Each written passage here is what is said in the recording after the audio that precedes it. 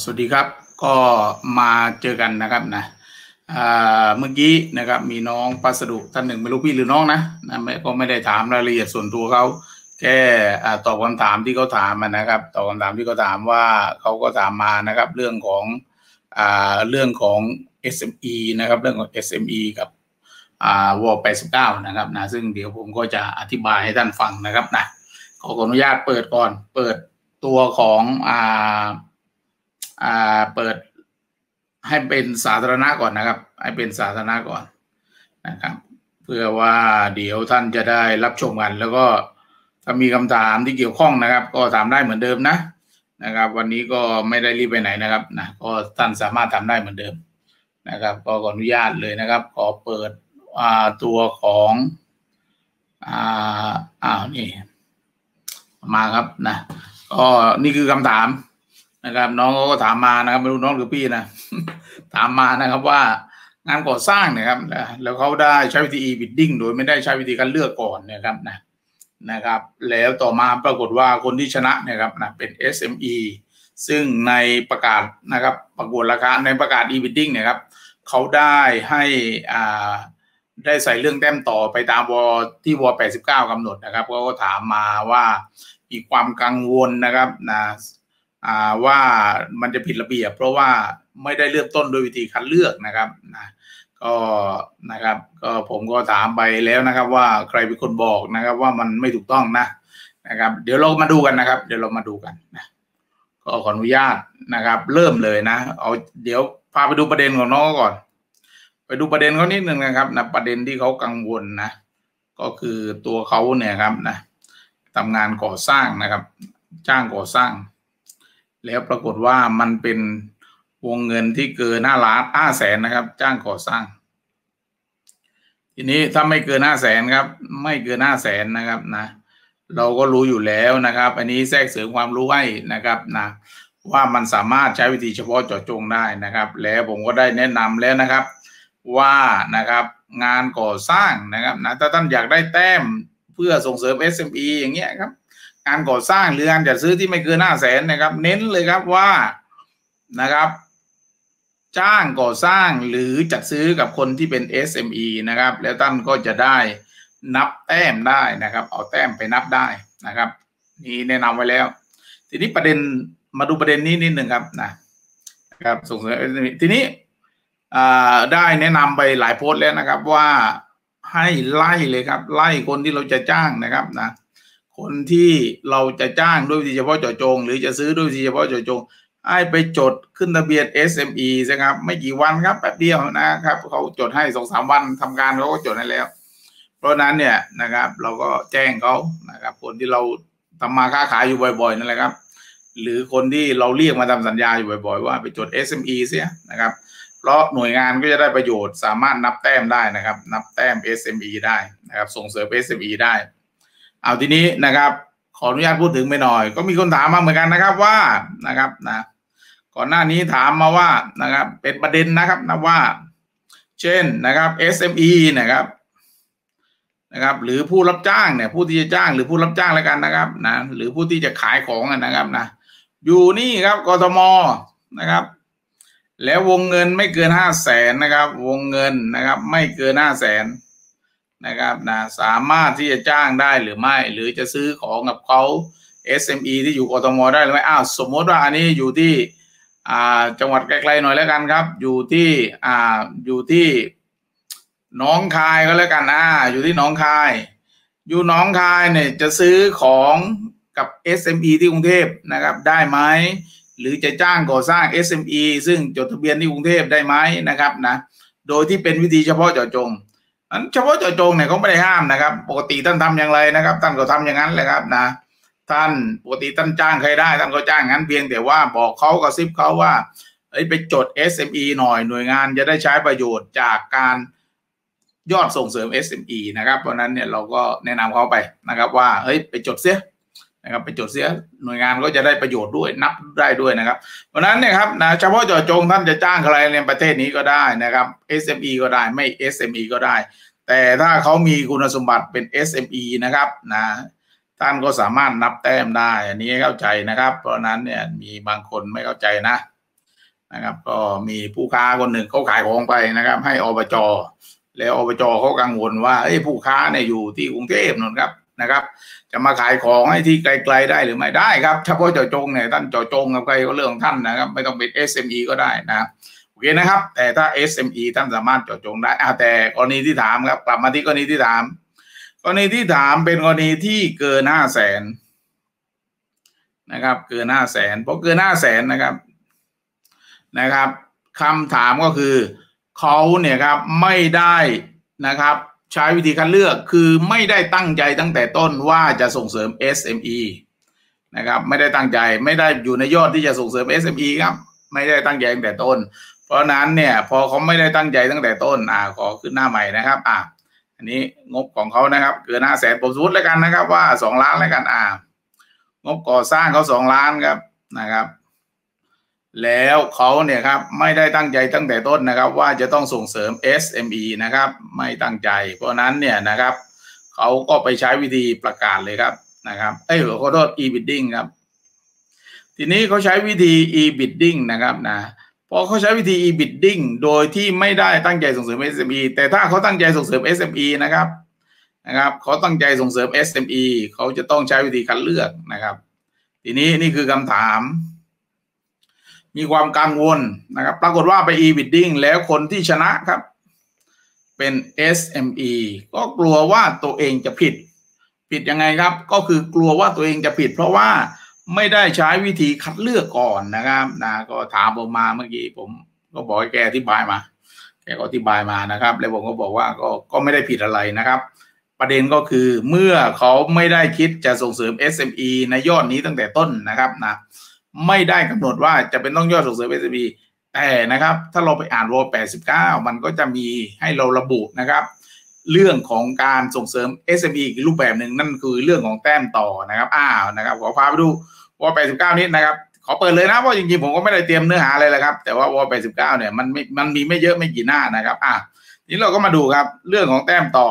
นะครับนะเรื่องของแต้มต่อ SME นะครับอ่าเดี๋ยวอยู่ที่นี่ครับ เขาก็หน่วยงานของรัฐเนี่ยครับกำหนดนะเอาขอโทษครับอยู่ที่นี่อยู่ที่นี่อยู่ที่หน้าท้ายๆนะครับ อยู่ที่หน้าท้ายๆนะครับกำหนดเงื่อนไขนะครับเห็นไหมครับ มันก็จะมีกำหนดเงื่อนไขนะครับ เรื่องของอาการส่งเสริม SME นะครับเนี่ยนะครับนะเพราะ SME เนี่ยเขาจะได้นะครับสิทธิพิเศษนะครับ แต้มต่อ 10%นะ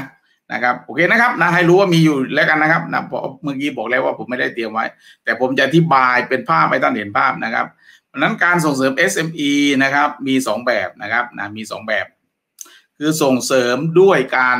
เชิญ SME มาคัดเลือกนะนะครับอะให้เห็นภาพนิดนึงนะครับอะนี่คือการส่งเสริมแบบแรกนะครับ เป็นการคัดเลือกเฉพาะในกลุ่ม SME ที่มีคุณสมบัติครับอ่าสมมุติว่าเมื่อกี้แหละครับ มีงบสองล้านพองบสองล้านมันเกินเฉพาะเจาะจงอยู่แล้วใช่ไหมครับ เพราะนั้นเนี่ยถ้าท่านจะส่งเสริม SME นะครับ นะครับท่านก็ไปเปิดปุ๊บนะครับสมมุติว่านะครับในจังหวัดเรามีสามลายนะครับนะครบสามนะครับจังหวัดเราเราก็เชิญเฉพาะในกลุ่มจังหวัดเรานะครับนะทีนี้ถ้าสมมุติว่ามันมีไม่ครบเราก็ต้องดูทั้งทั่วประเทศด้วยนะครับ แต่อ้าววิธีนี้ท่านต้องใช้วิธีคัดเลือกนะครับ ได้ย้ำไปหลายหลายครั้งแล้วนะครับ ว่าคำว่าคัดเลือกเนี่ยไม่ใช่ว่าเชิญใครมาก็ได้ เขาจะต้องมีคุณสมบัตินะครับ ตามที่เรา ต้องการนะครับนะเช่นนะครับมี SME ในจังหวัดของท่าน ABC ทั้ง 3 ลายจะต้องมีคุณสมบัติครบนะครับ ท่านถึงจะเชิญมาคัดเลือกได้นะครับ คุณสมบัติครบนะครับ สมบัติครบยังไง เช่น งานก่อสร้างนะครับ 2 ล้านสมมุติวงเงินก่อสร้าง 2 ล้าน แล้วหน่วยงานของท่านตั้งใจให้ได้คนที่มีผลงานนะครับครึ่งหนึ่งเช่น ต้องเคยผ่านงานประเภทเดียวกันมามูลค่า 1 ล้านนะครับเป็นต้น นะครับเพราะนั้นเนี่ยนะครับทั้ง 3 ลายนะครับ จะต้องมีคุณสมบัติครบก็คือ เป็นผู้ประกอบการนะครับที่เป็น SME แล้วก็เคยผ่านงานก่อสร้างมาในวงเงินที่เราต้องการนะครับ อันนี้คือตัวอย่างนั้นเขาต้องมีคุณสมบัติครบนะไม่ใช่ว่าใครก็ได้โอเคนะครับเอาทีนี้ปรากฏว่าน้องคนนี้ครับ หน่วยงานนี้ไม่เอาไม่ต้องการยอด SME เขาก็ไปใช้วิธี e-bidding e-bidding นะครับ ทีนี้เมื่อกี้บอกแล้วว่าหนึ่งการส่งเสริม SME นะครับนะครับ ส่งเสริม SME เนี่ยหนึ่งก็คือคัดเลือกในกลุ่ม SME นะครับ คัดเลือกเอา SME มาคัดเลือกนะครับ เพราะนั้นเนี่ยทุกคนต้องเป็น SME แล้วคุณสมบัติจะต้องครบสองครับ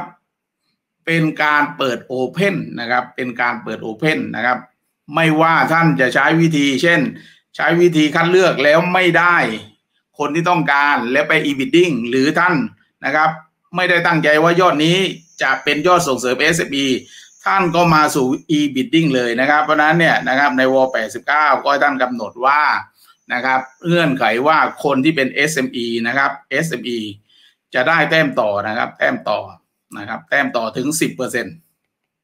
ะครับ แต้มต่อถึง 10%มีคำถามนำทิ้งไว้ได้นะครับ เดี๋ยวผมจะเปิดแล้วก็ผมจะตอบให้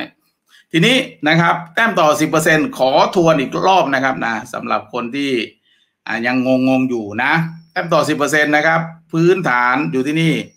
ผมให้ท่านเห็นภาพว่าท่านมีงบอยู่ 2 ล้านนะครับ งบอยู่ 2 ล้านนะครับ ขอเปลี่ยนเป็น 1 ล้านจะได้เข้าใจง่ายที่สุดนะครับ ขอเปลี่ยนเป็น 1 ล้านอะงบอยู่อ่า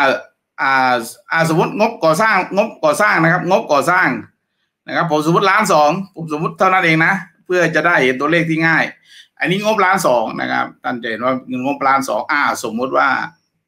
สมมุตินะครับลายต่ำสุดนะครับ ต่ำสุด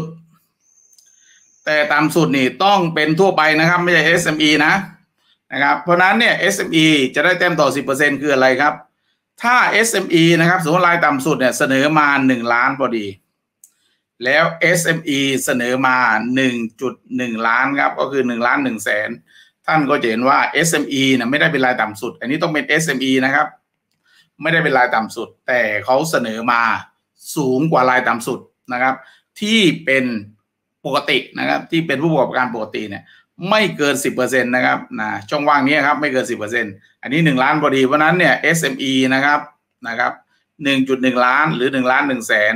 ในขณะที่รายปกติแล้วก็ต่ำสุดนะครับย้ำว่าต่ำสุดนะ 1 ล้าน ท่านก็จะเห็นว่าไอยอด1 0 0 0 0แสนที่เกินมานะครับ มันเท่ากับ10%พอดี เมื่อกี้ผมก็ถามไปนะครับว่าอ้าวมัน10%พอดีเลยอ่านะครับ ถ้าสิบเปอร์เซ็นพอดีเนี่ยแสดงว่ามีการซื้อขายข้อมูลกันแล้วนะครับมันมันต้องไม่พอดีนะ เพราะว่ามันคงม่มันไม่รู้จักกันนะครับ มันก็ยื่นมาไม่ได้รู้จักกันนะครับ ทีนี้ประเด็นก็คือนะครับ SME ที่จะได้แต้มต่อนะครับนะครับ SME ที่จะได้แต้มต่อ ตอนยื่นนะครับ ยื่นจะต้องยื่นนะครับ ใบรับรอง SME มาด้วยนะครับ ว่าตัวเองเป็น SME นะครับนะตัวเองเป็น SME จะได้เมื่อไหร่ก็ไม่รู้ครับ แต่ว่าตอนยื่นเนี่ยต้องยื่นมาเพราะนั้นถ้าไม่ยื่นมาต่อให้เป็น SME นะครับ แล้วตัวเองไม่ยื่นมา แสดงว่าตัวเองไม่ประสงค์จะใช้สิทธิ์แต้มต่อ 10%นะครับ ในความเป็น SME นะครับนั้นอันนี้คือตัวอย่างนะครับได้เห็นภาพว่า ทีนี้ประเด็นสำคัญที่ผมอยากจะฝากนะครับ ก็คือจริง ๆ แล้วนะครับ กระบวนการพวกนี้นะครับ ไม่ได้ผิดเลยไม่ผิดนะครับ ไม่มีอะไรผิด เพราะเขาเนี่ยครับไม่ได้ตั้งใจตั้งแต่ต้นว่ายอดนี้ครับจะส่งเสริม SME แต่ปรากฏว่าคนที่ได้เป็น SME คำถามคือ สมมุติว่า ขอกลับมาที่วงเงินก่อสร้างนะครับ สมมติว่าสองล้านอ่าสมมติว่าสองล้าน ถามว่าสองล้านนี้เนี่ยนับเป็นยอดส่งเสริม SME ไหมเป็นครับ เพราะท่านต้องตระหนักให้ได้ว่าการส่งเสริม SME นะครับมีสองรูปแบบนะครับ บอกไปแล้วหนึ่งเลือกนะครับในหมู่ SME นะครับ อันนี้คือเราเรียกว่าคนที่มีเป็น SME เนี่ยมีโอกาสมาก เพราะว่าเราเลือกเชิญมาเลือกนะครับ ไม่เปิดโอเพนมันคนที่ไม่ใช่เอ้ยมีคนถามนะครับวันก่อนว่าอ้าวเราเปิดคัดเลือกนะครับ สมมติว่าเราเชิญมา A B C แล้วก็ต่างเป็น SME นะครับมี นายดี เอ้ยขอโทษครับดีดีดี ดีทราบข่าว แล้วจะมาขอยื่นด้วยได้ไหม ถ้าเราไม่ได้ตั้งใจเชิญ เขาก็ไม่มีสิทธิ์มายื่นนะครับ คือเขาไม่ได้อยู่ในไลน์ที่เราเชิญมาคัดเลือกนั่นเองนะครับ ให้เราเข้าใจอ้ากลับมาที่นี่ต่อวันนั้นรูปแบบที่สองก็คือแต้มต่อนะครับ แต้มต่อวันนั้นเนี่ยลายกรณีนี้ครับ หน่วยงานสามารถนับแต้มต่อโครงการนี้ได้เป็น 30%เพราะฉะนั้นพอเราเห็นอย่างนี้ครับ ท่านก็จะเห็นว่าในความเป็นจริงนะครับ ในความเป็นจริง ท่านไม่จำเป็นจะต้องไปซีเรียสนะครับ ว่าโครงการไหนจะต้องอ่ามันจะต้อง SME เท่านั้นไม่จำเป็นนะครับ ผมเน้นเลยว่าแนะนำท่านเลยว่านะครับ วิธีเฉพาะเจาะจงนะครับนะเฉพาะเจาะจงท่านก็เจาะจงกับ SME เสียเห็นไหมครับแต้มของท่านก็จะได้เรื่อยๆอยู่แล้วเรื่อยๆอยู่แล้วอ้าวต่อไปนะครับ สมมุติว่าเกิดการบิดขึ้นมาสมมติท่านใช้วิธีบิดดิ้งปกตินะครับ แล้วปรากฏว่าคนชนะก็เป็น SME ท่านก็นับแต้มได้อีกวันนั้นเนี่ยนับแต้มได้หมดเลยนะครับ นับแต้มได้หมดเลยนะครับมันเอาคำเอาพอเอาเข้าจริงปลายปี มันอาจจะเกินนะครับสามสิบเปอร์เซ็นไปเยอะมากก็ได้มันอย่าไปกังวลมากอย่าไปกังวลมากนะครับโอเคนะครับอ่าโอเคครับ มีคำถามก็เชิญนะครับ เพราะประเด็นนี้ผมตอบไว้แล้วนะครับว่าเราไม่ต้องไปกังวลมากอะทีนี้อ่าเมื่อกี้ถ้าไม่มีนะครับ ผมขอไป ประเด็นที่ผมยกขึ้นมาหน่อยนะครับนะประเด็นที่ว่า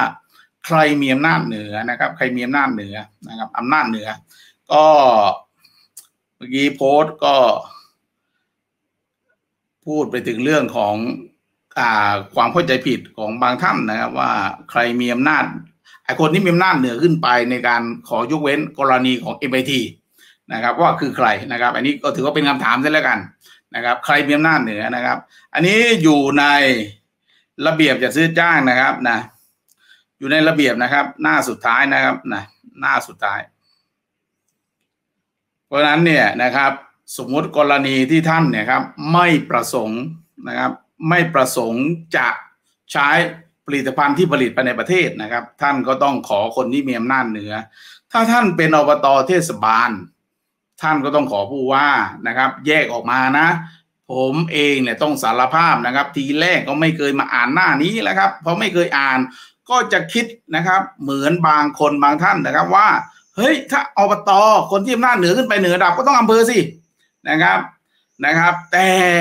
นะครับ พอสุดท้ายเนี่ยครับเราก็มาต้องหมายความจริงว่าความจริงมันกำหนดไว้อย่างไร ความจริงมันกำหนดไว้นี่เป็นเฉพาะพรบจัดซื้อจ้างนะครับ ต้องเข้าใจอย่างนี้ ท่านกำลังทำเรื่องพรบจัดซื้อจัดจ้าง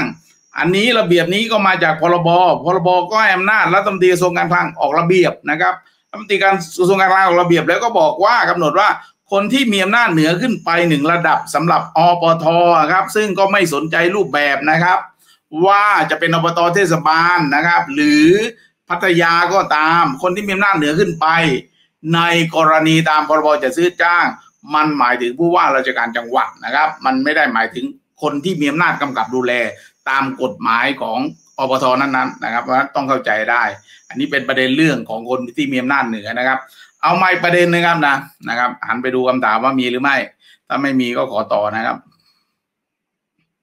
อ่า ประเด็นนี้ต้องทำความเข้าใจนะครับ ถ้าท่านไม่เข้าใจท่านจะวุ่นวายมากๆนะ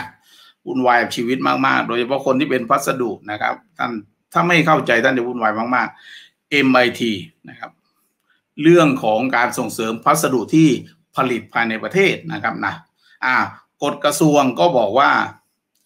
สินค้านะครับ สินค้ากฎกระทรวงก็บอกว่า สินค้านะครับที่ถือเป็นพัสไอพัสดุที่ผลิตภายในประเทศนะครับ หมายถึงพัสดุที่ได้ใบรับรองนะครับ ใบรับรองนะครับเพราะนั้นเรามาดูกันนะครับช้าๆทีนี้นะครับ ซื้อ เขาบอกว่าท่านต้องไปเปิดครับ เปิดเว็บนะครับ ขอย่อเว็บ MIT แล้วกันนะครับ เปิดเว็บว่าสิ่งที่ท่านจะซื้อครับ มันมีไหมมีครบนะครับ จริงๆก็จะใช้คำอย่างนี้ครับว่าอ่าเกินสามลายอ่าก็ใช้ว่าเกินสามนะครับ เกินสามลาย แล้วอีกคำก็คือน้อยกว่าสามลาย น้อยกว่าสามลาย เพราะนั้นเนี่ยสามลายมันจะเป็นสุญญากาศอยู่นะครับสามลายเขาบอกว่าเกินสามลายก็หมายถึงสี่ลายนั่นเอง ถ้ามีนะครับสิ่งท่านจะซื้อย้ำว่าซื้อ ครบสี่ลายนะครับ เพราะเขียนมาอย่างนี้สามลายเป็นสุญญากาศนะครับนะนะครับ แต่ถ้าเราไปเทียบกับเรื่องของการส่งเสริมอ่า SME นะครับสามลายเนี่ยก็ถือว่าเป็นกรณีที่ต้องส่งเสริมนับนั่นเองนะอ่าโอเคนะครับนะเราเอาตามข้อความตามระเบียบก่อน เขาบอกเกินสามลายนะครับนะถ้าสิ่งท่านจะซื้อเกินสามลาย มีครบเกินมีครบอ่ามีเกินสามลายว่ากันเถอะมีเกินสามลายก็คือสี่ลาย ให้ท่านต้องระบุว่าต้องซื้อกับคนที่ได้จดทะเบียนมิตรอะอันนี้ปัญหาเราค่อยว่ากันนะครับ เราเอาหลักการก่อนเขากำหนดอย่างนี้ เพราะนั้นท่านก็ไปเปิดพอเปิดท่านก็ต้องสเปคของแต่การสเปคของผมได้อธิบายในหลายคลิปแล้วว่า อย่าลืมว่า นะครับของนะครับบางอย่างมันมีมอกออยู่ เพราะนั้นเนี่ยเราก็อย่าลืมระเบียบข้อ 21วรรคสองของเราด้วยว่าสิ่งที่เราจะซื้อ ถ้ามีมอกอประกาศใช้เราต้องซื้อของที่ได้มอกอด้วย เพราะนั้นมันต้องมีสองอย่างคู่กันนะครับ แต่ถ้าของได้มอกอแต่ไม่ได้มิตรทำไงนะครับ ได้มอกอแต่ไม่ได้มิตร ต้องเลือกมอกอครับ เพราะเราเขียนไว้ในระเบียบข้อ 21วรรคสองว่า มันจะต้องเป็น ถ้ามีมอกอใช้อยู่จะต้องใช้ของที่มีมอกอนะครับเพราะนั้นต้องเลือกมอกออันนี้ต้องสำคัญกว่านะครับได้ได้บอกไปแล้วนะครับ ไปดูย้อนหลังนะนะครับมอกอสำคัญกว่านะครับอ้าวทีนี้มาดูต่อครับ ทีนี้นะครับนี่คือเรื่องของงานซื้อ เพราะฉะนั้นย้ำอีกทีครับนะท่านจะได้ไม่สับสน ใบรับรองนะครับ ว่าเป็นผลิตภัณฑ์ที่ผลิตไปในประเทศนะครับ เป็นเครื่องหมายสามเหลี่ยมแบบนี้ครับนะนะครับ อันเนี้ย ใบรับรองใบรับรองมิตรเนี่ย ใช้กับงานจัดซื้อนะครับ แล้วก่อนซื้อนะครับ เปิด ไปเปิดนะครับ เปิดเจอก็เจอไม่เจอก็ไม่เป็นไรครับ เพราะเท่ากับท่านไปเปิดแล้วนะครับ แล้วมันไม่เจอนะครับนะนะครับนะทีนี้โอเคนะครับ นี่งานจัดซื้อ เอาเวลาเขาส่งของท่านก็ต้องดูใบมิตรนะครับ ส่งของท่านตรงใบมิตร ปัญหา อันนี้ขอพูดถึงปัญหาท่านเห็นภาพ แล้วท่านก็ไปใช้ดุลมินิตเอานะครับนะครับ ปัญหาก็คืออยู่อยู่เวลาเราจะบังคับใช้นะครับ อยู่อยู่เวลาเราจะส่งเสริม เราก็ประกาศโครมแล้วเราก็บอกว่าจะต้องซื้อกับของที่มันขึ้นทะเบียนมิตรอ้าวสมมุติว่าคนที่ผลิตของสิ่งนี้มีสิบลายนะครับ แต่คนที่ไปขึ้นแค่สี่ลาย ท่านจะเห็นว่าอีกหกลายเนี่ยเขา ไม่มีสิทธิ์ขายนะครับนะเพราะอันนี้แหละครับคือปัญหาที่กรมบัญชีกลางจะต้องไปพิจารณา เพราะไม่ใช่อยู่ๆลบประกาศอะไรขึ้นมา แล้วเราบังคับใช้ทันทีจะต้องเปิดโอกาสให้คนทั้งหมดนะครับ ซึ่งศักยภาพเขาไม่เท่ากันเนี่ยเขาต้องไปขึ้นทะเบียน มีเวลาเขาต้องไปขึ้นทะเบียน หรือไปไปทำอะไรก็แล้วแต่ไปปรับปรุงกิจการอะไรของเขาเพื่อเข้าเงื่อนไขที่จะขึ้นอ่าขอใบอนุญาตได้นะครับจะใช้คำว่าขอใบอนุญาตไม่ได้ ขอใบรับรองนะครับ เป็นต้นนะอ่าโอเคนะครับ เรากลับมาที่นี่เอาละครับ นะครับ เดี๋ยวค่อยว่ากันเรื่องเงื่อนไขยกเว้นนะครับนะแต่ตอนนี้ครับนะครับ ท่านจะซื้อของถ้าไปเปิดเว็บมิดแล้ว แล้วมันมีนะครับ ตั้งแต่สี่ลายท่านก็ต้องสเปคว่าจะต้องซื้อของที่ได้รับรองมิดแต่อย่างงงนะครับ ขอลงลึกตรงนี้อีกนิดหนึ่งคำว่าซื้อของที่ได้รับรองมิตรนะครับ สมมติว่าบริษัท A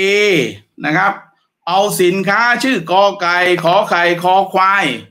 นะครับ ไปขอรับรองมิตรนะครับ อ่า รับรองมิตรรับรองมิตรรับรองมิตร อันนี้สินค้านะ อันนี้บริษัทนะครับ อันนี้สินค้านะครับ การที่ท่านไปเปิดเนี่ย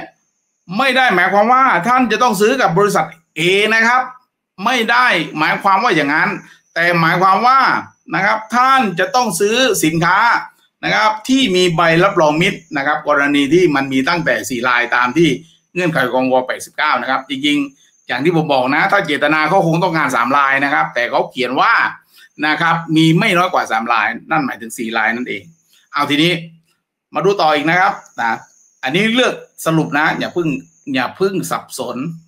ซื้อซื้อซื้อซื้ออย่างเดียว ไม่ได้ใช้กับเรื่องอื่นนะครับ ไม่ได้ใช้เรื่องจ้างหรือจ้างก่อสร้าง อันนี้ใช้เรื่องซื้ออ่าโอเคนะครับอ่าต่อไปมาเรื่องงานจ้างบ้าง จ้างก่อนนะครับ จ้างเฉยๆก่อนนะ ไม่ใช่จ้างก่อสร้าง มาเรื่องงานจ้างนะครับนะทีนี้การจ้างมันมีหลายแบบครับ มันมีหลายแบบมีเยอะแยะไปหมด เช่นเราจ้างเขาจัดนิทรรศการจ้างให้เขาทำป้ายประชาสัมพันธ์เป็นต้นนะครับนะรวมถึง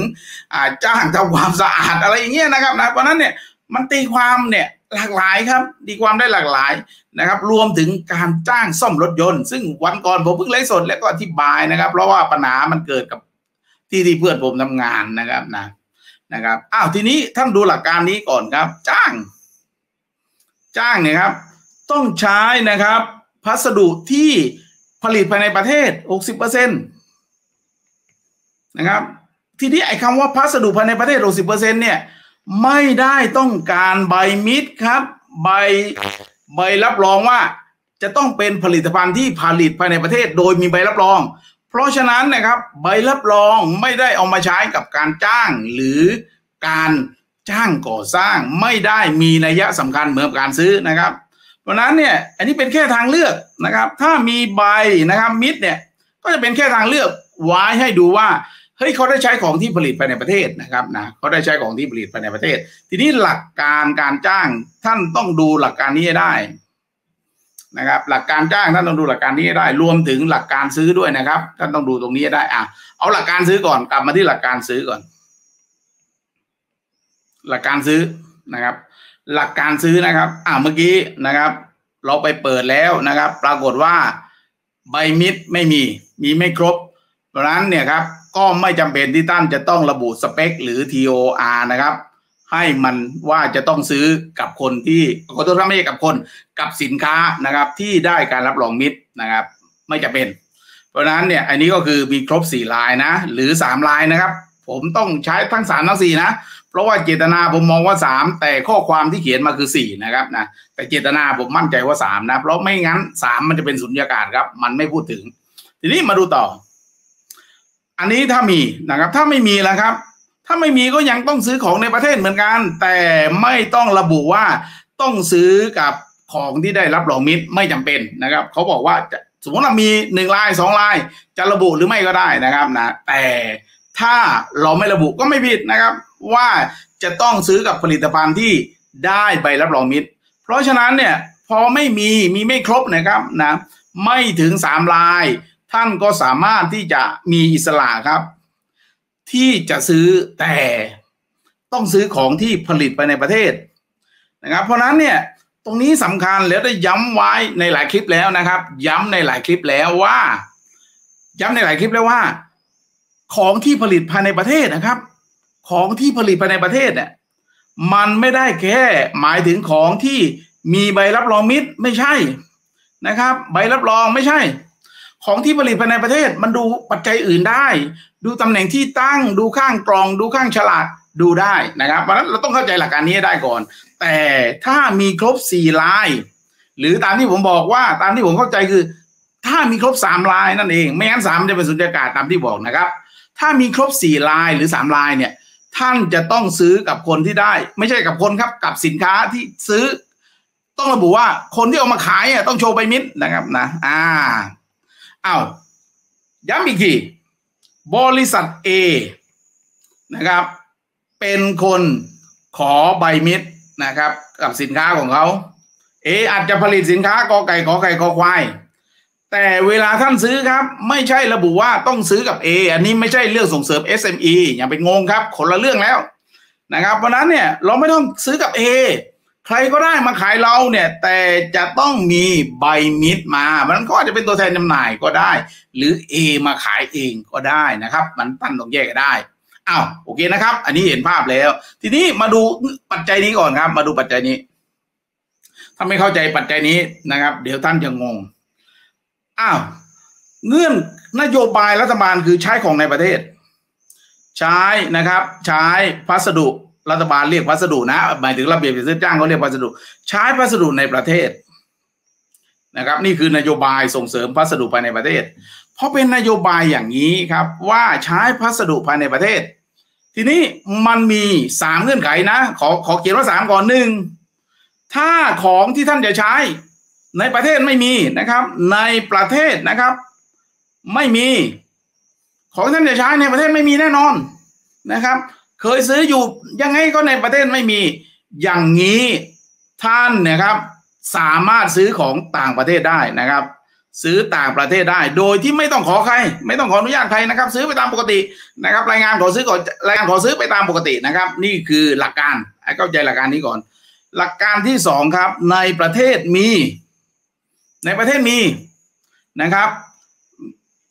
ในประเทศรู้ว่ามีแต่ไม่อยากใช้นะครับ ไม่อยากใช้นะครับ ไม่อยากใช้ ต้องขอยกเว้นนะครับอันนี้เอาหลักการนะครับ ขอยกเว้นกับคนที่มีอำนาจเหนือขึ้นไปหนึ่งระดับนะครับ เมื่อกี้บอกแล้วว่าถ้าท้องถิ่นท่านก็ต้องหมายถึงผู้ว่าราชการจังหวัดนะขอยกเว้น อันนี้มีแล้วไม่อยากใช้สามครับนะครับ มีและใช้ไปตามปกตินะครับ มีและใช้ไปตามปกติ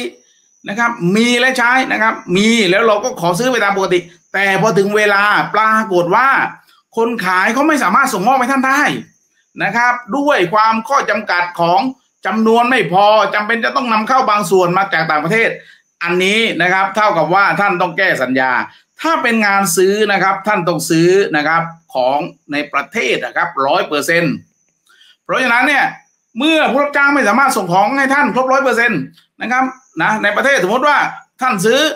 สมมติว่าเป็นกระดาษนะครับ ท่านต้องการซื้อกระดาษห้าพันลีมนะครับ ปรากฏว่าของในประเทศนะครับนะเขาซื้อมาได้สี่พันลีมแล้วมันขาดหนึ่งพันลีมต้องนำเข้าจากต่างประเทศอย่างนี้ครับ อย่างนี้ต้องแก้สัญญา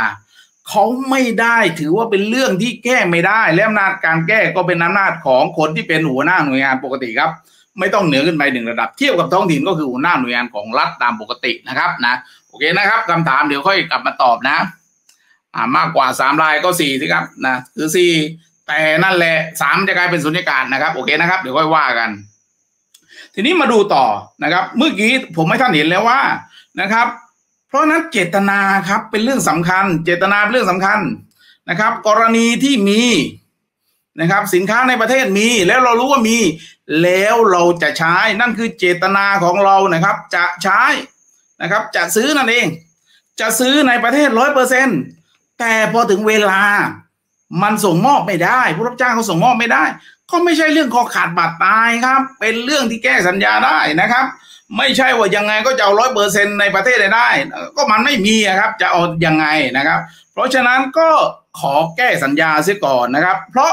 ตอนซื้อนะครับเราทำสัญญาว่าจะต้องซื้อของในประเทศร้อยเปอร์เซ็นต์เราก็แก้สัญญาเสียตามข้อเท็จจริงนั่นเอง อันนี้ก็จะเป็นอำนาจของหัวหน้าหน่วยงานของรัฐตามปกตินะครับ ไม่ต้องเหนือขึ้นไปหนึ่งระดับไม่ต้องนะครับ อ่าโอเคนะครับเพราะหลักการนี้ก็เอามาใช้กับหลักการงานจ้างและจ้างก่อสร้างเช่นกันอ้าวมาดูจ้างครับ ต้องดูเจตนาครับ ต้องดูเจตนาอย่าไปเขาเรียกว่าไปสร้างปัญหากับตัวเอง จ้างซ่อมรถนะครับ เจตนาของท่าน ก็คือท่านเนี่ยครับนะครับ อยากใช้ของในประเทศ มันก็ทำสัญญากันตามปกติ แล้วก็บอกว่าตัวผู้รับจ้างนะครับ ถ้างานซ่อมอ่าถ้างานจ้างนะครับ จ้างเนี่ยจะต้องใช้ของในไทยหกสิบเปอร์เซ็นท่านก็ทำสัญญาไปตามปกติครับนะ เช่น บริษัทโตโยต้าลิสต์รายการไม่ท่านแล้วนะครับ ท่านก็ไม่ต้องยังไม่ต้องไปสนใจครับว่ามันในหรือต่างประเทศนะครับท่านสัญญาซ่อมไปแล้วนะครับ จ้างซ่อมไปแล้ว ออกคำสั่งจ้างซ่อมไปแล้ว เพราะนั้นเนี่ย เราต้องการให้เขาใช้ของภายในประเทศ 60%เพราะนั้นเราอย่าไปสู่รู้อย่าไปเสือกครับ อย่าไปทำเกินระเบียบ อย่าไปทำเกินหน้าที่นะครับ ที่จะไปสืบมาว่าอะไรชิ้นไหนมันในประเทศอะไรชิ้นไหนมันต่างประเทศ อย่างนั้นเรากำลังทำผิดจากหน้าที่นะครับนะ เพราะเราต้องตั้งสมมติฐานว่าของในประเทศมันมีเมื่อของในประเทศมีนะครับของในประเทศมีเราก็จ้างไปตามปกติ สัญญาคือเราจ้างตามปกติครับ เหมือนกันกับงานจ้างก่อสร้างนะครับ เราทำไปเลยครับว่า 60%เนี่ยผู้รับจ้างต้องใช้วัสดุภายในประเทศ ต่อเมื่อทำไม่ได้ค่อยมาแก้สัญญา อันนี้ก็หลักการเดียวกัน เราจ้างซ่อมเราก็จ้างไปตามปกติครับ ไม่ใช่เราจะซ่อมแล้วเราให้เขาเช็คมาว่าไม่ถึง 60%แล้วเราก็ไปขออำนาจท่านผู้ว่านะครับ ซ้ำร้ายไปเข้าใจผิดใหญ่โตไปอีกว่า สำหรับท้องถิ่นนะครับสำหรับอบตคนที่มีอำนาจเหนือไปในระดับคือนายอำเภออันนี้ยิ่งไปกันใหญ่นะครับ เพราะฉะนั้นเนี่ยท่านไม่ต้องไปสนใจครับ ไม่ต้องไปสนใจว่าอะไรเนี่ยมันจะครบไหมนะครับทำสัญญาไปเลยว่าผู้รับจ้างจะต้องใช้อะไรนะครับ ภายในประเทศเนี่ยนะครับ60%นะครับนะนะครับไม่น้อยกว่า60%พอถึงเวลานะครับ สมมุติว่าบริษัทที่ซ่อมรถเขาสามารถจะหาอะไรภายในประเทศมาได้แค่50%นะครับเขาไม่สามารถทำการ ทำสัญญาได้ เราก็แก้สัญญาให้เขาเท่านั้นเองครับนะครับ แก้สัญญาเสียบันทึกแนบท้ายคำสั่งจ้างอะไรของท่านเสียว่านะครับ เนื่องจากนะครับอะไรภายในประเทศนะครับ ซึ่งเป็นอะไรสำหรับรถยนต์คันนี้เนี่ยมันมีผลิตภายในประเทศสำหรับงานซ่อมครั้งนี้เนี่ยแค่สิบเปอร์เซ็นต์นะครับ จึงขออำนาจท่านนายกเพื่อจะยกเว้นตามว89 ก็แค่นี้เองครับ ท่านก็เห็นว่าเฮ้ยมันไม่ได้มีอะไรนี่ถ้าเราเข้าใจเราจะไปสร้างปัญหาทำไมล่ะครับ เราจะไปให้คนที่เป็นผู้ว่าราชการจังหวัด มาอนุมัติซ่อม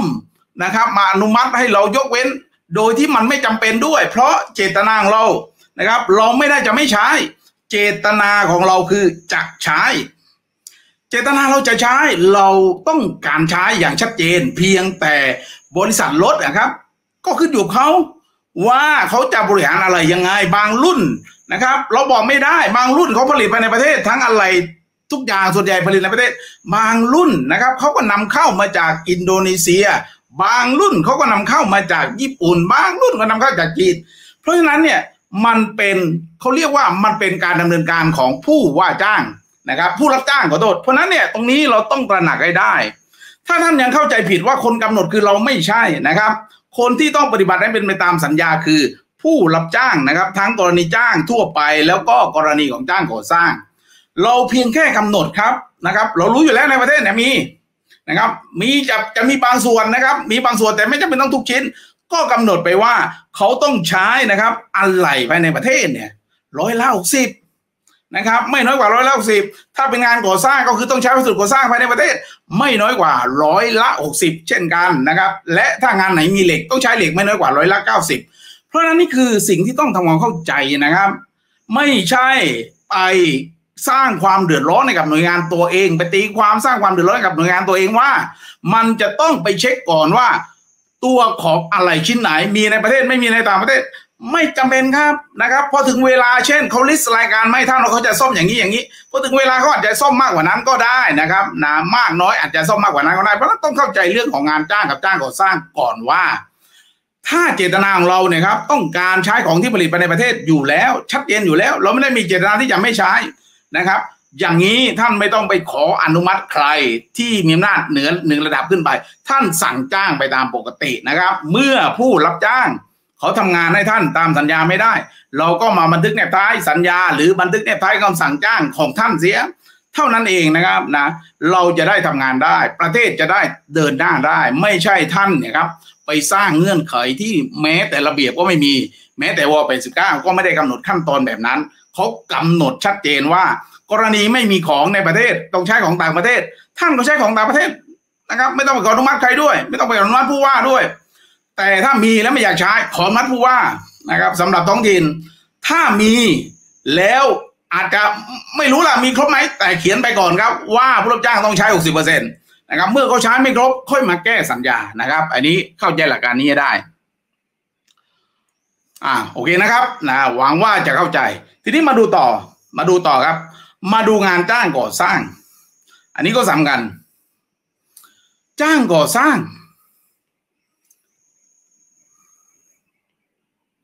วันนี้ที่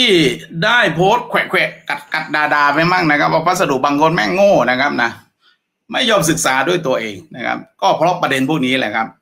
กูรูบางคนเนี่ยก็ต้องย้ำว่าบางคนนะแม่งมันมีไม่มีกี่คนละครับไอ้บ้าบ้าบอๆนะครับนะนะครับ ประเภทว่า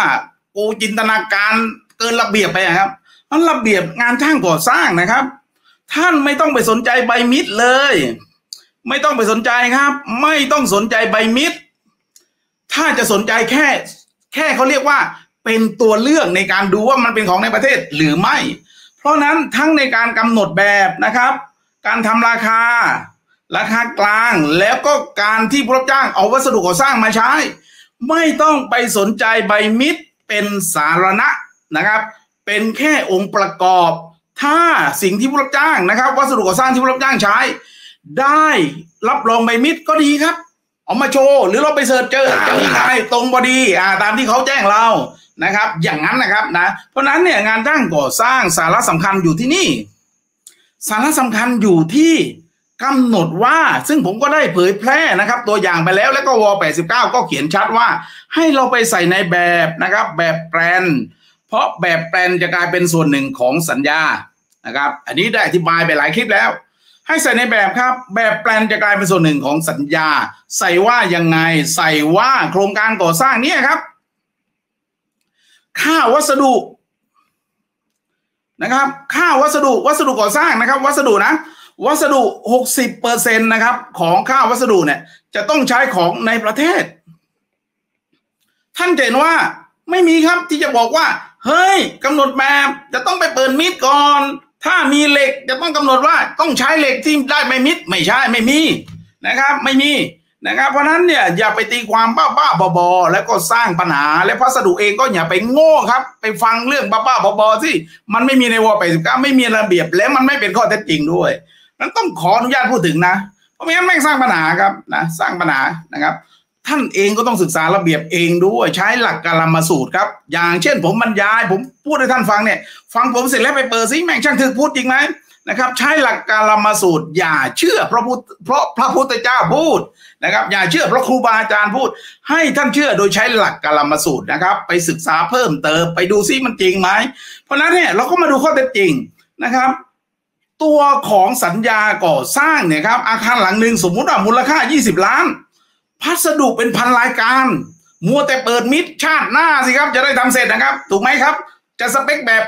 เสร็จนู่นนะครับสามเดือน จะทำราคากลางเสร็จอีกห้าเดือน ชาติหน้าถึงจะได้ใช้อาคารหลังนี้ เพราะฉะนั้นเขาไม่ได้สนใจว่าวัสดุก่อสร้างเนี่ยจะต้องได้ใบมิดไม่ได้สนใจครับ ใบมิดไม่จำเป็นแต่หกสิบเปอร์เซ็นต้องใช้ของภายในประเทศ แล้วไอ้ของในประเทศอะไรล่ะครับ เป็นตัวชี้ได้บ้าง ก็หนึ่งถ้าผู้รับจ้างเลือกใช้วัสดุที่ได้ใบรับรองมิตรนะครับ อันนี้คือใบมิตรนะครับ ใบรับรองมิตรมันก็ใช่ไงครับ มันก็คือของในประเทศ ใช่ แต่ถ้าสองนะครับ เช่นเหล็ก เหล็กบางเจ้าเขาอาจจะไม่ได้ไปขอใบมิตรเขาถือว่าเฮ้ยเหล็กยังไงกูก็ขายได้อยู่แล้วกูจะไปขอใบมิตรทำไม และที่สำคัญนะครับ อย่างเหล็กเนี่ยครับ สิ่งที่เหนือกว่ามิตรนั่นคือมอก มันต้องได้มอกอต่อให้มันได้มิตรมันสักยี่สิบใบนะครับ แต่มันไม่ได้มอกอสักใบหนึ่งเราก็ไม่ใช้เหล็กนั้น เพราะเหล็กมีมอกอบังคับใช้อยู่ ต้องใช้มอกอเท่านั้นนะครับ เหล็กมีมอกอบังคับ เป็นมอกอบังคับนั้น ต้องเข้าใจหลักการนี้ ทีนี้อ้าวแล้วเหล็กดูอะไรล่ะกองเหล็กจะมีแผ่นเหล็กครับ เล็ก ๆ เท่าฝ่ามือนะครับ จะบอกว่ายี่ห้ออะไรนะครับ แล้วก็มีข้างล่างเขียนว่า made in Thailand หรือสินค้าของประเทศไทย จบครับนั่นเลยครับ นี่คือสาระสำคัญของงานจ้างก่อสร้างนะครับอ้าวบางอย่างล่ะ ดินหินทราย มันไม่มีฉลาก มันไม่มีใครไปขอไปมิดแล้วครับ ดินหินทราย ดูที่ตั้งมันครับ ว่ามันอยู่ที่ไหน รวมถึงของสิ่งนี้ครับ ของสิ่งนี้เป็นวัสดุก่อสร้างที่สำคัญในงานก่อสร้าง และเป็นของต้องพูดถึง นั่นคือเรื่องของคอนกรีตสมเสร็จ คอนกรีตผสมเสร็จ ใบมิดก็ไม่สำคัญ เพราะอะไรครับ เพราะต่อให้มันได้ไม่มิดแล้วมันอยู่ที่กทมหน้างานเราอยู่ที่เชียงใหม่นะครับ ถ้ามันจะไปส่งนะครับ มันขับรถไปไปถึงบางปะอิน ปูนแข็งติดรถเลยครับนะครับ ไม่สามารถที่จะเอาไปใช้ได้ เพราะเราต้องเข้าใจด้วยว่าแต่ละวัสดุนะครับ มันมี เทคนิคของมันมันมีเขาเรียกว่ามันมีข้อจำกัดเฉพาะของมัน เพราะนั้นเนี่ยนะครับ เนี่ย อันนี้กทม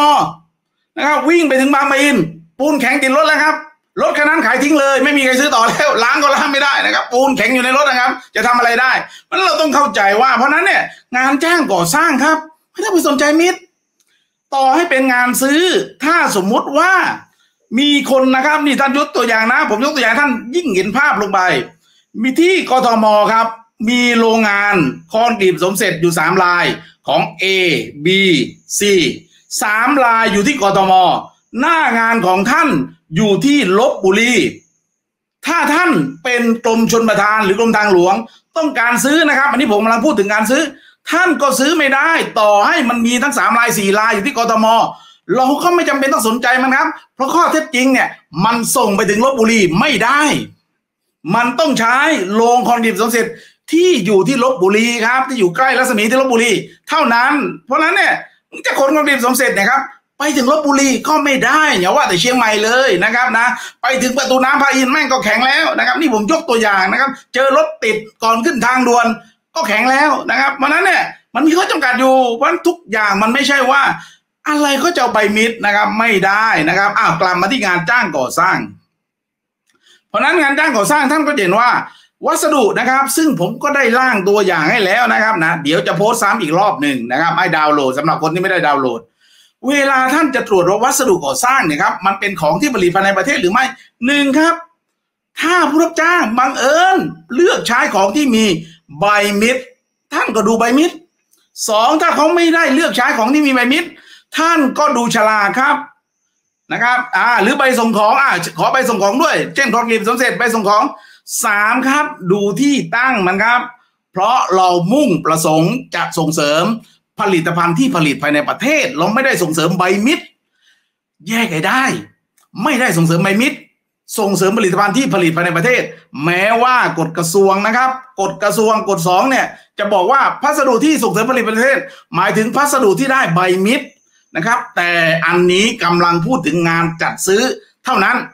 และถึงต่อให้เป็นงานจัดซื้อ ท่านก็ดูข้อเท็จจริง อย่างที่ผมบอกว่า เช่นคอนกรีตสมเสร็จ มีใบมิตรก็ไม่มีประโยชน์ เอามอกอเป็นหลักครับเพราะคอนกรีตสมเสร็จเขาไม่สามารถส่งให้ท่านข้ามจังหวัดได้นะครับยกเว้นว่ามีชายแดนติดกันและคอนกรีตสมเสร็จมันไปอยู่ริมชายแดน เท่านั้นเองงั้นเข้าใจหลักการนี้ได้นะครับ โอเคนะครับนะเดี๋ยวจบแล้วแค่นี้ขออยู่ในช่วงตอบปัญหา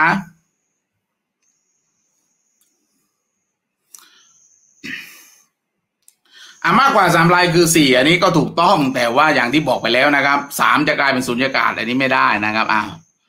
อันนี้ไง ก็มีคำถามไหมครับสามลายพอดีเข้าข้อไหนเห็นไหมครับสามมันจะกลายเป็นสุญญากาศไงสามลายพอดีทำไง เพราะนั้นเนี่ยถ้าเราไปเทียบกับ SME นะครับ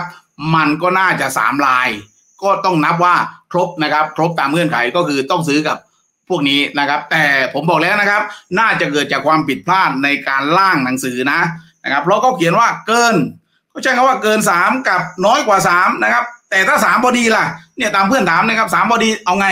เพราะนั้นเนี่ยนะครับต้องทำหนังสือหาลือ ถ้าต้องการคำตอบที่เป็นทางการหรือโทรไปก็ได้นะครับ ท่านก็จะรู้ แต่อย่างที่ผมแนะนำว่าถ้าเทียบกับเจตนาเรื่องอื่น ไม่ว่าในอดีตที่ผ่านมาเช่นเรื่องมอกหรือเรื่องของการส่งเสริม SME นะครับสามก็น่าจะนับว่ามันเข้านะครับนะโอเคนะครับนะ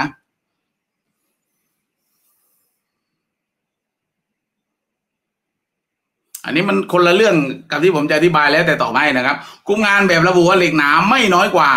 ไม่น้อยกว่าหนึ่งจุดห้ามิลหนึ่งจุดห้ามิลแสดงว่าเหล็กหนึ่งจุดห้าใช้ไม่ได้ใช้ได้สิครับ ก็มันไม่ได้น้อยกว่าหนึ่งจุดห้านี่นะครับนะนะครับใช้ได้นะครับคำตอบนี้นะนะครับ คุมงานแล้วระบุว่าเหล็กหนาไม่น้อยกว่าหนึ่งจุดห้าเขาเหล็กมาหนึ่งจุดห้าใช้ได้ครับนะตีความไม่ดี ไม่น้อยกว่าหนึ่งจุดห้าแสดงว่าเท่ากับหนึ่งจุดห้าได้ อะ อันนี้ก็เป็นนักกฎหมายนะ อ่า ถ้าคนออกระเบียบมาอธิบายได้เหมือนท่านคงดีคงทำงานได้ไม่ลำบาก มันมันชุกว่ากันไม่ได้นะครับ มันว่ากันไม่ได้นะครับนะท่านก็ต้องเข้าใจว่าบริบทของกรมบัญชีกลางคืออะไร เขามีนักการเงิน นักบัญชี นักกฎหมายนะครับ เขาไม่ใช่นักปฏิบัติ ไปเปิดเว็บกรมบัญชีกลางครับงานก่อสร้างไม่มีสักงานหนึ่งนะครับนะเพราะนั้นเราว่าเขาไม่ได้นะครับนะอย่างผมเนี่ยผมผ่านประสบการณ์เป็นผู้ปฏิบัติมาสิบปี เป็นผู้ตรวจสอบมาสิบปี มันผมก็มีประสบการณ์ของผมระดับหนึ่งนะครับเอาโอเคนะ ไปต่อนะครับ จัดหาโดยวิธีการเลือกทำเลือกยนชวนในจังหวัดนะครับ ไปสิบลายแล้วตอนมายื่นยื่นแค่สองลาย จะต้องเลือกหนึ่งในสองลายนี้เลยหรือไม่ จะต้องทำ ใหม่ไปเลือกหลังจากจังหวัดอื่นมาเพิ่มครบสามรายหรือไม่ อันนี้เข้าเงื่อนไขที่ท่านจะต้องไปใช้วิธี e-bidding นะครับนะนะครับนะเพราะก็คือท่านจัดหาด้วยวิธีการอ่าจัดหาด้วยวิธีการคัดเลือกแล้วท่านคิดว่าไม่ได้ผลดีนะครับ สมมติไม่ได้ผลดีท่านผมฝากไปดูนะครับนะผมไม่ตอบให้ชัดนะ เพราะว่าไอรายละเอียดว่าถ้าสมมติว่ามายื่นสองลายเนี่ยครับนะมายื่นสองลายเขามายื่นกองสองลายเราสามเราคัดเลือกเนี่ยครับเราเชิญไปสิบ เขามายื่นสองนะครับ จะเข้าเงื่อนไขที่จะยกเลิกหรือไม่ อันนี้ฝากไปดูเองนะครับ ฝากไปดูเองนะขอไม่ตอบนะ เพราะความไม่แม่นนะครับนะโอเคนะครับนะ หรือฉันชยานันจะช่วยตอบเขาก็ได้นะอ่าโอเคนะ สินค้าบางอย่างถ้าไม่ได้ระบุประเทศผู้ผลิต เราจะตีความอย่างไรครับ ระหว่างไทยหรือต่างประเทศ เช่นสกรูน็อตไม้ลวด อ่า อันนี้ในงานก่อสร้างใช่ไหม ถ้าในงานก่อสร้างท่านอย่าเอามาสนใจสิครับให้ผู้รับจ้างเลือกอย่างอื่นเสีย คือมันเป็นเรื่องเล็ก ๆ น้อยๆครับเพราะนั้นเราไม่ต้องเอามาสนใจเราไม่ได้บอกว่างานจ้างก่อสร้างนะครับ จะต้องร้อยเปอร์เซ็นต์นะครับ ไม่ใช่นะนะครับ จ้างนะครับ หรือจ้างก่อสร้างนะครับนะจ้างหรือจ้างก่อสร้างเราไม่ได้บอกว่าต้องร้อยเปอร์เซ็นต์นะครับ ที่จะต้องเป็นของในประเทศเราต้องการแค่หกสิบเท่านั้นเอง เพราะฉะนั้นเนี่ยเราเลือกรายการที่ไม่มีปัญหาครับ เช่น ผมเคยอธิบายแล้วว่า เช่น ภาคใต้นะครับ ภาคใต้ของประเทศไทยเนี่ยนะครับ เรารู้อยู่แล้ว คนในวงการก่อสร้างจะรู้ว่า ภาคใต้เราใช้ไม้จากมาเลครับ เพราะนั้นเนี่ยไม้จากมาเลไม้เนี่ยมันไม่บอกครับว่ามันมาจากชาติไหน เรา มันดูไม่ออกมันไม่เหมือนเหล็ก เหล็กมันมีใบอ่าใบกำกับมานะครับ เหล็กเนี่ย แต่ไม้เราไม่รู้วันเราตัดปัญหาเสียไม้เราก็อย่าเอามาไอ้พูดบอกผู้รับเหมาว่าอะไรที่มีปัญหาก็อย่าเอามาอยู่ในหกสิบเปอร์เซ็นต์เสีย ถือว่าเป็นของนอก 60%เปอร์เซ็นต์นะครับนะครับ จะได้ไม่มีปัญหานะครับ ง่ายต่อการปฏิบัตินะ โอเคนะครับนะเพราะนั้นเนี่ยไม่ใช่ว่าของต้องร้อยเปอร์เซ็นต์นะไม่จำเป็น 60%เปอร์เซ็นต์แล้วถ้ามีเหล็กครับนะครับ ใน 60%เปอร์เซ็นต์เนี่ยโครงการก่อสร้างนะครับ อ่าดูนะ ขอย้ำเรื่องเหล็กหน่อยหกสิบเปอร์เซ็นต์นะครับนะครับ จะต้องเป็นวัสดุในประเทศ แต่ถ้ามีเหล็กครับ เหล็กตรงนี้เช่นเหล็กเส้นหรือรูปประพันธ์นะ ไม่ต้องไปลงถึงตะปูก็ได้นะครับตะปูก็เอาออกนอกเสีย หรือท่านจะนับมาตะปูก็ได้ ถ้าท่านนับได้นะครับนะอ่าทีนี้ท่านมาดูครับนะหรือเหล็กตะปูอาจจะอยู่ในสิบเปอร์เซ็นต์นะครับจะได้สะดวกนะ ถ้ามีเหล็กครับ เช่นมีเหล็กสิบตัน อย่างน้อยเก้าตันครับ ท่านจะต้องใช้เหล็กในประเทศนะครับ ส่วนอีกหนึ่งตันไม่ว่า เช่นท่านบอกว่าเฮ้ยตะปูมันมันไม่รู้ว่าตะปูจากชาติไหน ลวดผูกเหล็ก ไม่รู้ว่าลวดผูกเหล็กจากไหน อย่างนี้เอาตะปูหรือลวดผูกเหล็กไปอยู่ในสิบเปอร์เซ็นต์เซก็ได้นะครับ จะได้ไม่มีปัญหานะ ไม่ต้องมานั่งตีความอ่าการเลือกไม่ได้อ่าเนี่ยน้องก็ช่วยตอบแล้วนะครับนะผมผมไม่สันทัดจริงๆ ต้องต้องขอโทษด้วยเรื่องวิธีการนะมันเป็นเรื่องลงลึกกันนะครับ